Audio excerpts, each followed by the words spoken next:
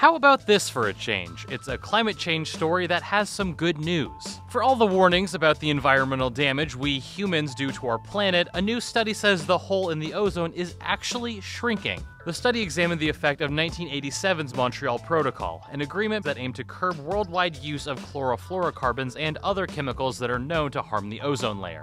Those types of chemicals are used about 97% less since the agreement went into effect, and it seems to be having the desired result.